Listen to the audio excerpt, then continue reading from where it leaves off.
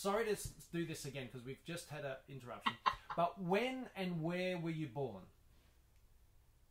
Swindon in Wiltshire, Yes. the best part of England, the prettiest part of England, Oh, a, really? ve- a very pretty spot. Wiltshire, Wiltshire. Wiltshire, Hampshire, and Dorset and Somerset, the nicest part of England. Oh, wow. That's and my advice. grandparents, on my uh, my great grandparents, I should say. Oh, here's an Easter hot cross bun brought to me. Can you see the hot cross bun? Oh, lovely. I'm not going to start eating it though. Not not while I'm talking. Not yet. Not yet. Oh, you're in. Went the wrong way. Oh, mother. She loves potatoes. Oh, She loves potatoes. she And now does. What, what do you think has happened now? What's his name? The cook, the English cook. Um, Jamie Oliver. eh? Jamie Oliver. Oh, Jamie Oliver has brought a book out about beautiful potatoes. So I think I might buy you that for Christmas. Oh, thank you. If I'm still here at Christmas. You will be. You will be, Well, Nana. You look. well, You look absolutely The way I, incredible. I'm there, I look awful. So You- do I. I don't think Oh. any. I don't think I anyone. look in- gorilla. Nana, Robert's trying to talk to you. I don't think anyone in the world would agree with you that you look awful. I think you look Um, fantastic. How old are you, Nana? How old am I? Yes. I'm 102 and three weeks. 102 Oh. and three weeks old. And 102 years and three weeks. Wow. And just to ask you one more time, the Oh. year you were born was 1915. The second of the 9th of February 1915. 1915. And uh, now, Nana, I'll, I'll Nana. quickly, I'm going to quickly run through a few questions. I'll just let you know that every three minutes this recording will have to stop because, um, and I have to start a new one. So we're at two Oh, minutes and 15. To look forward to.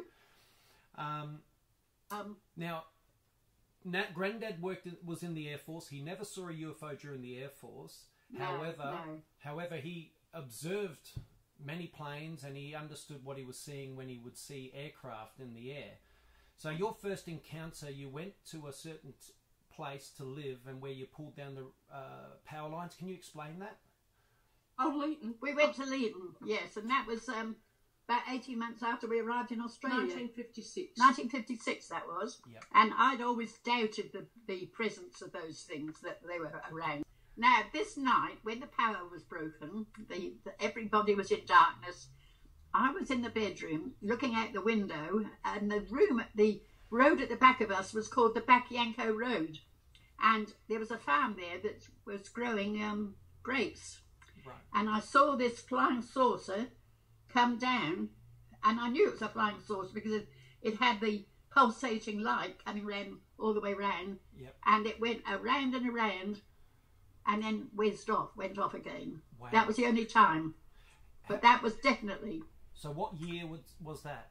Well, that was 1987, Oh, 1987. 1997. No, No, um, 1957. 1950. I thought it was more in the 50s. We came out to Australia in 1955. Yes. Uh, we came out in '55, and we stayed at Bar- uh, Sydney for in a. Uh, it was it had been a an ex RAF station, Okay. and uh, we shared a. There were these tin huts, and we had to. Each one was two families. Flying saucers going around the, the um. Uh, what do you call them? Uh, TV, lines? Oh, um, TV. TV masts. Yes. Yes, yes. And we used to see them going around. Wow. The- Like, how close were you to that? Oh, well, we'd be about four miles, I suppose. Four miles, but you could see them clearly at that distance. You could easily, yeah. We What- did see. We had very big windows in the house, so we could follow them. You know. Wow. And what did they look like to you at that distance? Well, the same as they did at Leeton, the the night that the lights went off in Leeton. They're sort of big, big, like big, big, well, flying saucers as they called them, Yeah. and they had this pulsating looking coming from all the way round. You know, Yeah, so yeah. that was a magnificent thing to to be able to. To witness. So, I've just been presented with a cup of coffee. I'll move that in case you spill. So that's how it is. And, and now in Leeton, how close were you to the to the uh, UFO? Oh well, uh, oh, very close, very close, really. Yep. Because our fleet was there. Then there was the Back Yanco. There were houses on the other side, and then there was the Back Yanco Road, and the farm was just there. So that would have been about a hundred meters, Wow, that close. or a, So that was a real close encounter. That one. yeah, that was a close close encounter. Yeah. Yeah, and also, on uh, Mum tells me a story of a night where she felt this sort of like heavy presence come over her house, and the That next was- morning. Can you explain that, Mum? Yeah, that was your dad and I in Willow Road. Can you can we see you come up behind Nana there, Mum? Do I have to? My mum is in her seventies. Look how good she looks. No, come on, show us your face, Mum. There she is. Um, yeah, we were in Willow Road in Upper Gully, yeah, and you boys were asleep, and your dad and I had just gone off to sleep. yeah. And do you remember the house in Willow Road? It was on the side of Oh. a hill like that. I was a, I was a baby. Come down a little bit, Mum, so we can see your face. There Well, you when are. we left, it was on a, a hill. Yes. And all of a sudden, there was this vibration over the house and then down the front of the house and across to Kings Park, which is a big oval. Yeah. And both of us were too scared to get out and have a look. And I wish to this day that we had. Yeah. Anyway, we finally went to sleep. And the next morning, I took you boys round and said hello to Nana. And Nana said, I sat out on the deck last night. And she said, I watched flying saucers around the TV towers. And I said, oh, That was it. but there was one went over our house. Wow, That, wow. That's what the noise That's must have noise been. was. Yeah. It wasn't like a hel- if you have a helicopter go over, Yeah. No, There's there's a a lot of hovering. Bug, bug, bug. noise Yeah, with it, yeah. but this was like Yeah, a over whi- a and whiz- down. Yeah, a Yeah. whizzing. I just Yeah. wish we had have looked. Yeah. Yeah. But- Had or Got outside and had a look.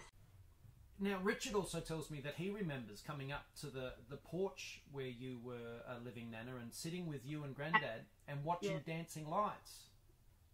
He was sort of saying there were like lights in the distance that were sort of dancing around. Yeah, Hitting lights coming from the flying saucer. But both those time, the the time in Upper Gully, there were reports the next day on the news how so many people had rung in whoever and said that they had seen flying a flying saucer. Oh wow!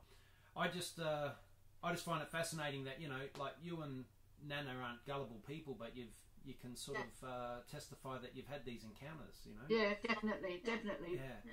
Um, how many times would you have seen a UFO, Nana? Do you think?